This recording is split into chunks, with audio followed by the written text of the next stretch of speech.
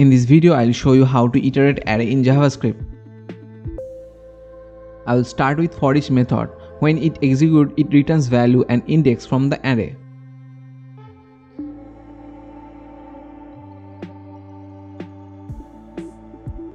Next I will show you the map method. Similar to the for each, it executes for each element of the array and can also create a new array populated with the result.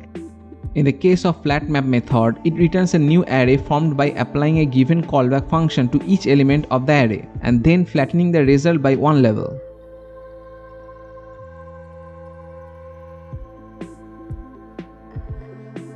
Next filter method, it used to create a new array with only certain elements that meet the specific condition. And that's it for now. I will cover the other iteration process in the next video. If you find this helpful, please like and comment. Don't forget to subscribe.